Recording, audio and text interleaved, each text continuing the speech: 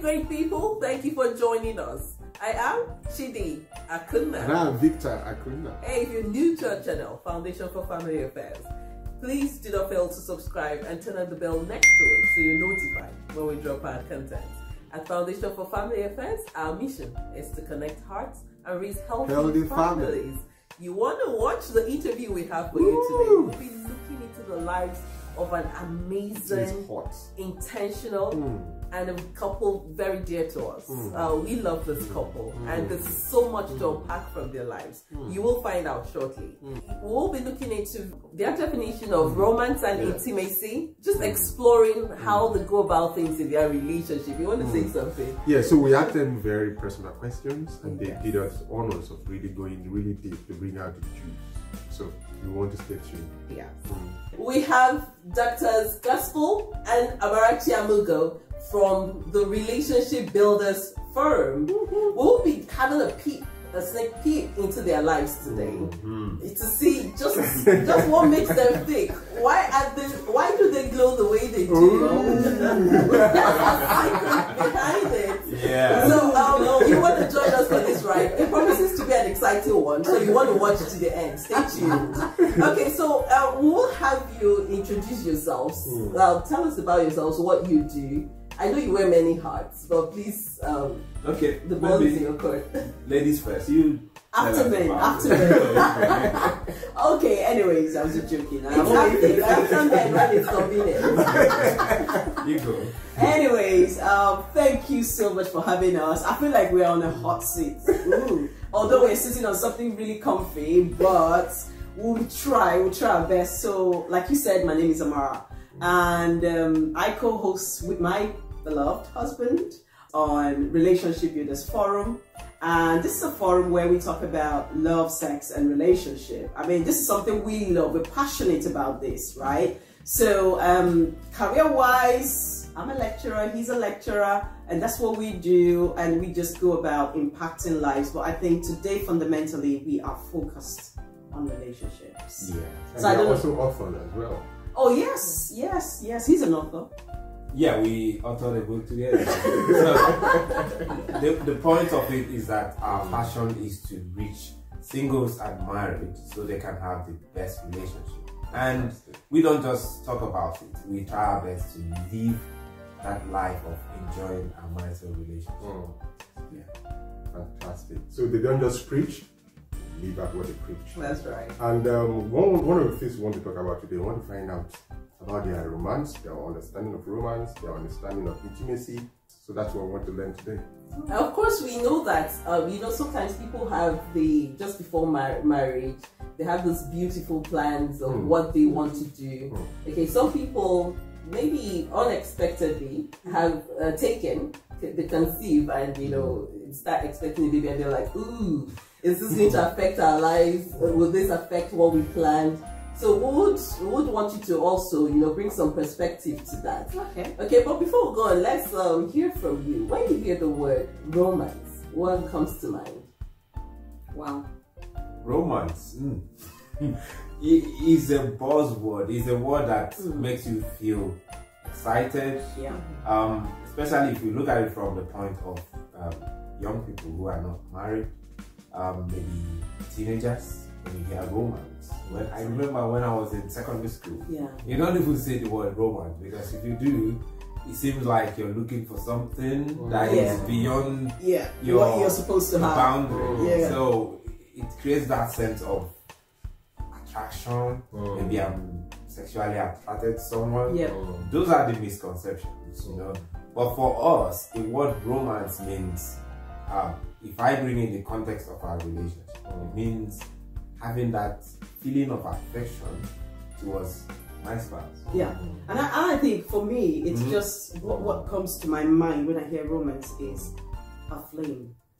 A flame? Yeah. How do you mean? I So it's you know it's something that it's for me it's a constant reminder that Hmm. I have to always have my relationship on a burning burner Oh.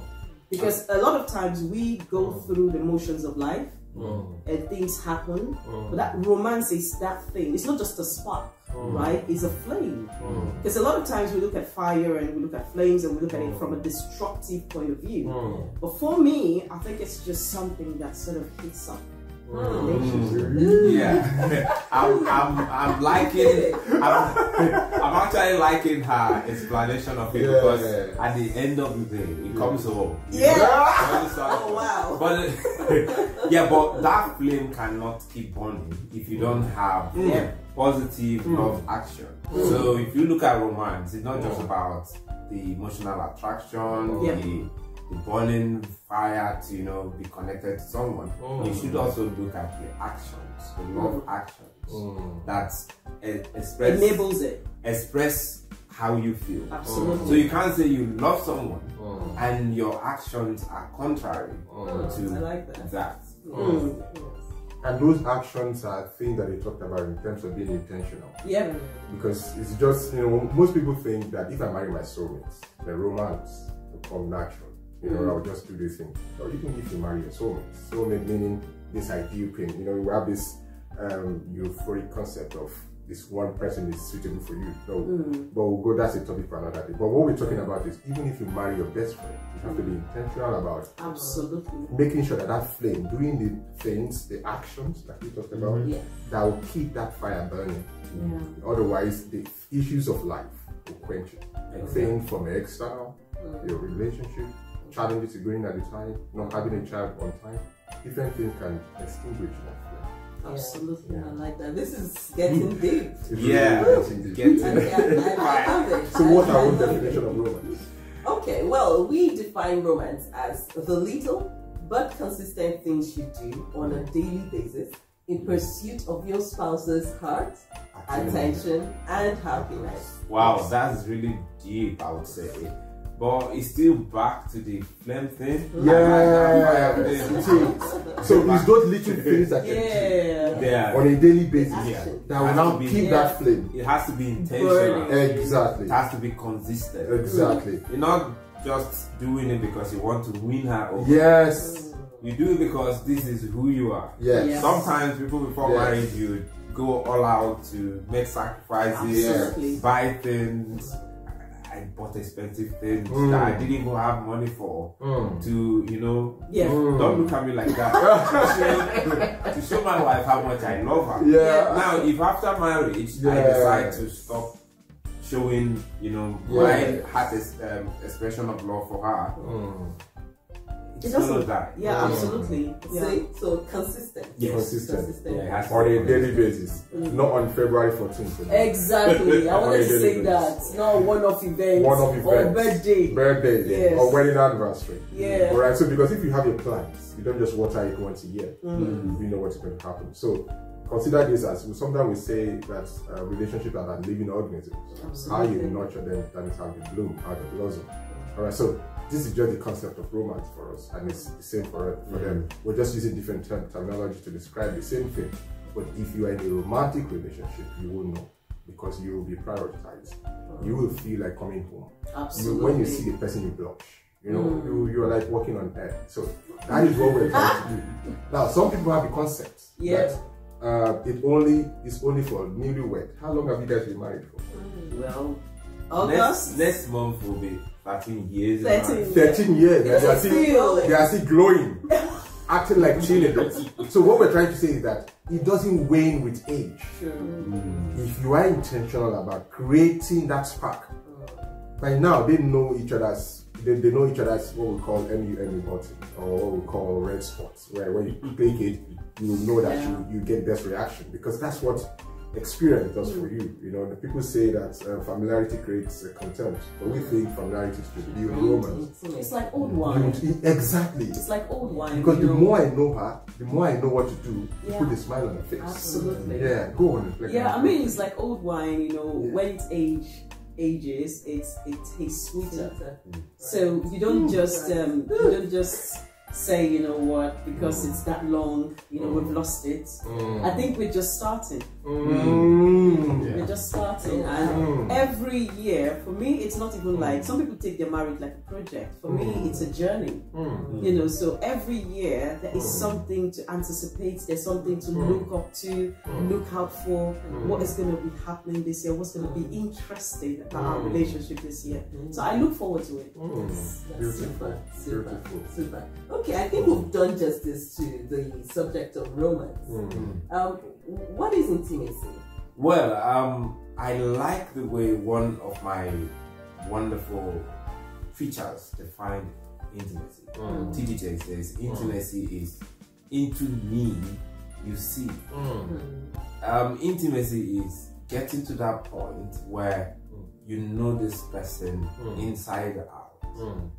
Because without knowledge, there won't be intimacy. Mm. Some people get married thinking they are intimate, Mm. but what they, they, they experience at that point Mm. could be attraction. Mm. But once you start knowing the character of this person, the weaknesses, the strengths, and the person is open to you, shares with you um, secrets if there are secrets, Mm. be open to the point of showing her point of weaknesses, Mm. and be open to share her passion. Yes. Yeah.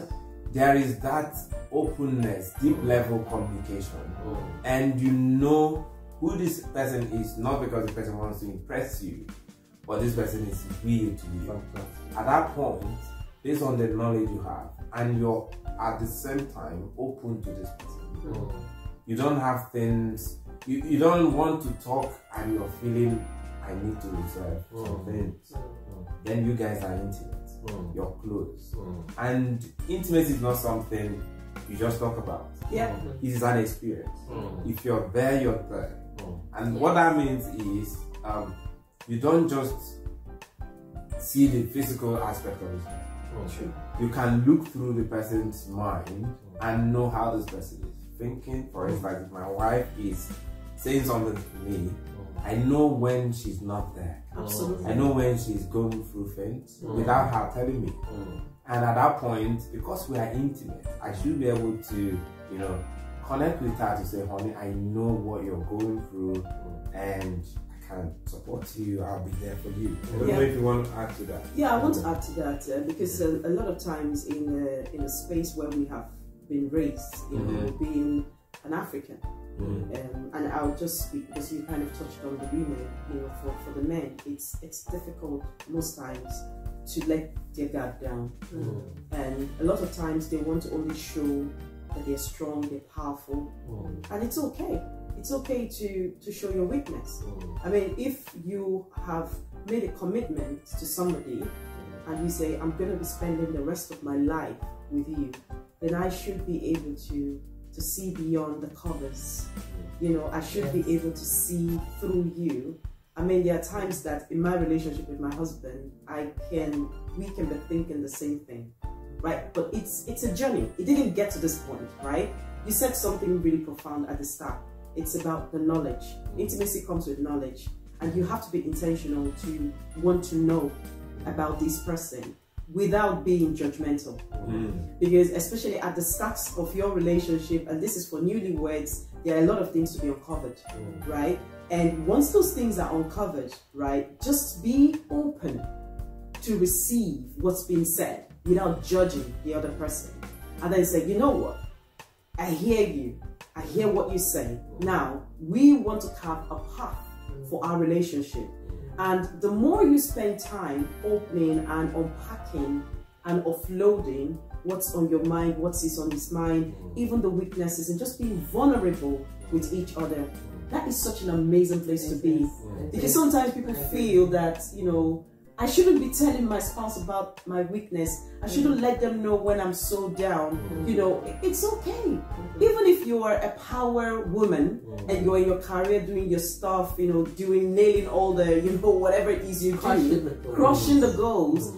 It's okay to have that one man, which is your safe space. Yeah, but the other thing you have to consider is the fact that sometimes people are not vulnerable as much as they need to because they are not in a safe space. Mm. That's right. They don't. The, the level of trust is not there. Mm. For instance, if you're married to someone whose character has created a kind of disconnect, mm, That's mm. true. you don't trust this person. For if I'm dishonest to you, I've said things to you, and at the end of the day, you realize that most of the things I've said to you are not correct, Mm.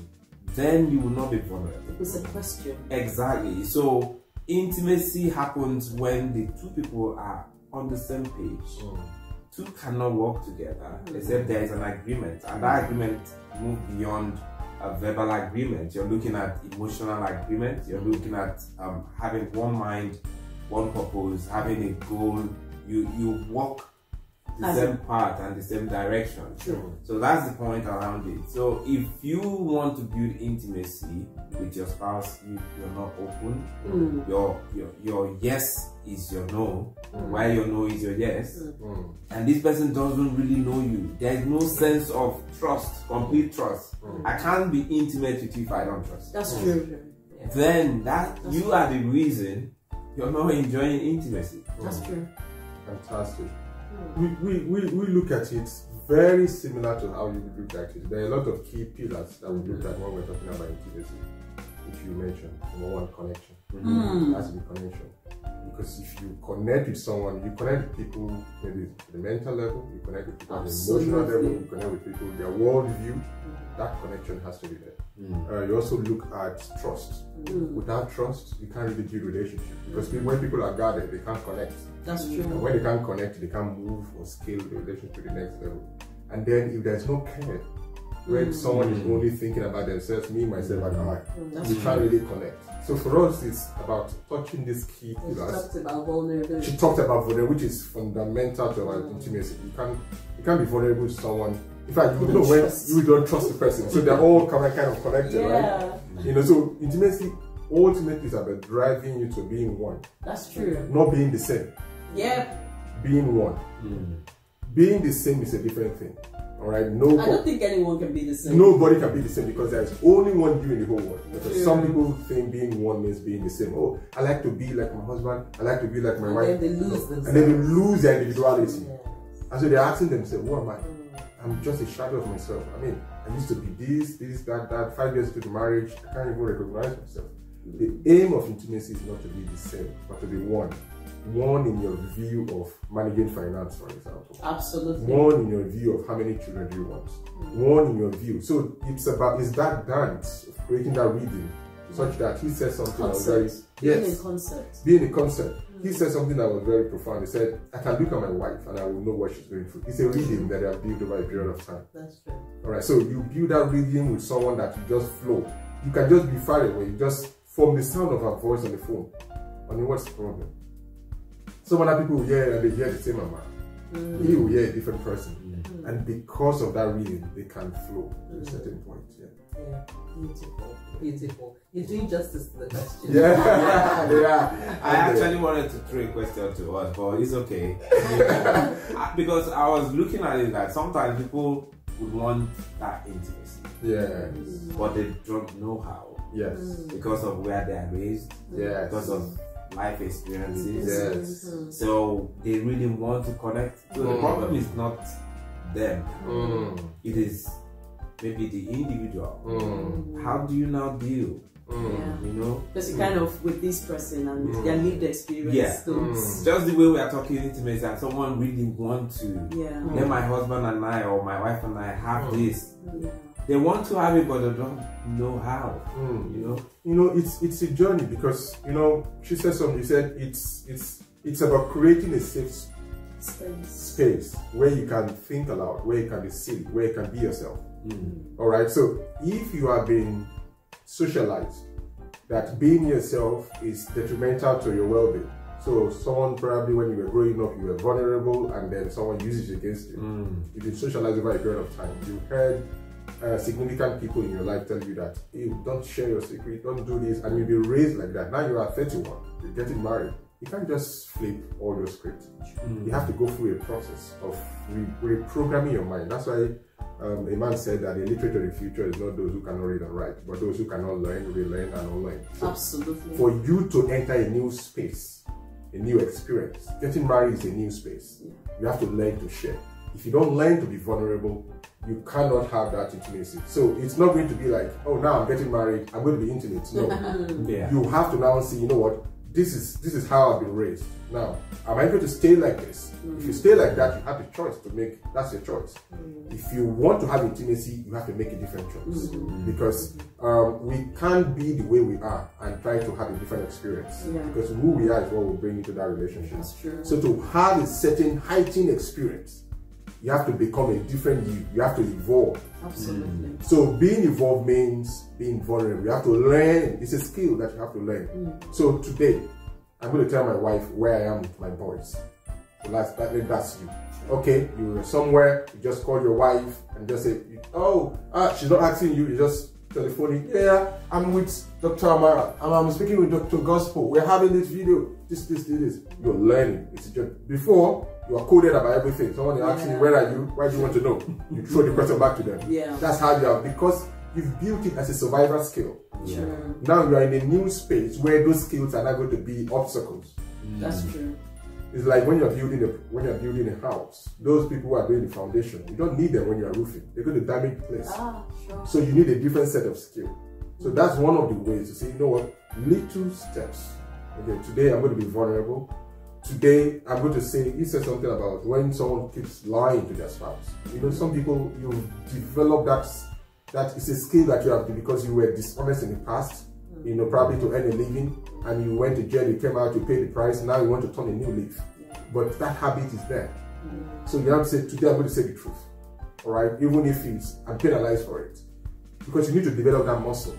That's true. All right, over a period of time, and help you. You have a spouse that is really supportive. It will make the journey worthwhile. It will make the journey easier. Mm. So, so because sometimes when you say the truth to some people, they'll be like, they will be looking at you because they also have their own issues. That's true. Because crazy attract crazy. I'm sorry for using that word. So if you are in a bad place, you are likely to attract your type. Yep. So mm. both of you have to grow through that journey because the bird of a feather are, you know, flock together. So you guys have to commit that this is what we want to do. What do we need to do? So now say, okay, we're going to start by being vulnerable. What does that mean for us in our family?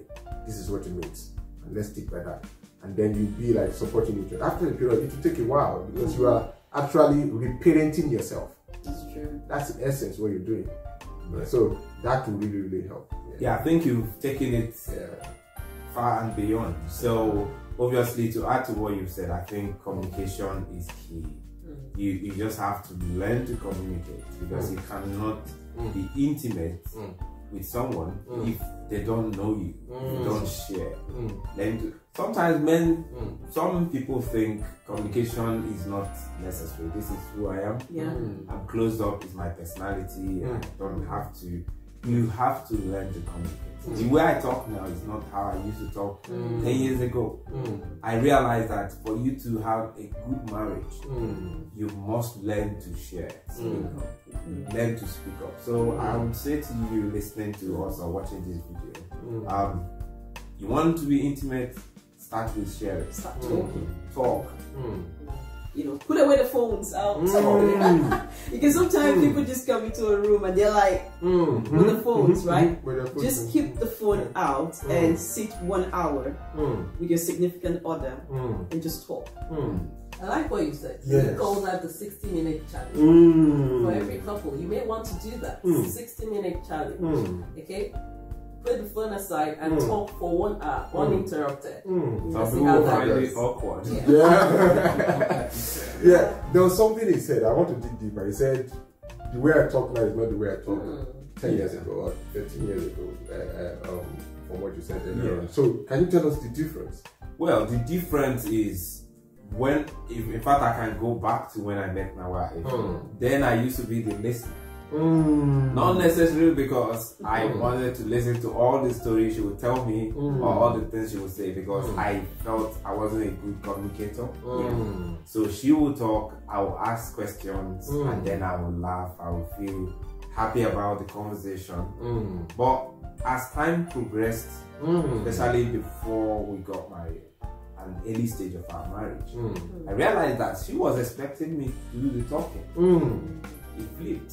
Mm. So at a stage it was like You were a bit uncomfortable. I was uncomfortable because I've always Because you're like, I like, I I've like always enjoyed her talking. I was like, you enjoy listening to my voice. I want to listen to your voice as well. so so now I I realized that I needed to Mm. do the talking. Fantastic. And it's not something that happens overnight.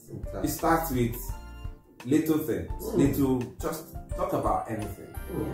Learn to do it because you need it. Even as parents, one of the key things you will teach your children is Mm. how to communicate. Mm. You have a feeling, Mm. know how to express it. Mm. Yeah, can I just share something? Yes, yes. really? Um, because I remember one of the things you told me Mhm. about why you were holding back in Mm. terms of communication was that you felt um, you needed to be sure about what you wanted to say, Mm. and it was down to the environment you were raised. Mm. That sort of impacted you in a point to the point where you felt I can't open up my mouth to say anything until I'm hundred percent sure. Mm. And I felt, well, it, it's you talking, it's communication. You Mm. speak and I respond. You don't Mm. have to figure out every single line and sentence before you Mm. speak. Mm. And, and maybe someone listening to us now, maybe you've been through an experience Mm. and it's kind of caused you to hold back. Mm. So you rather not speak or you just listen. Mm. But you don't understand how you can elevate your relationship Mm. just by Because- opening up Mm. and talking to that person Yeah. and let them find out who is this individual that I am with.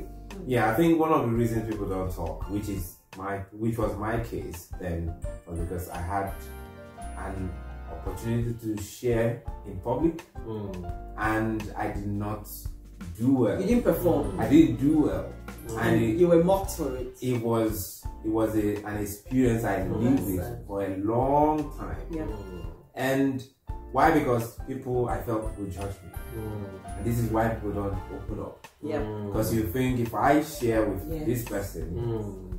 how am I going to be looked at? How am I going to be perceived?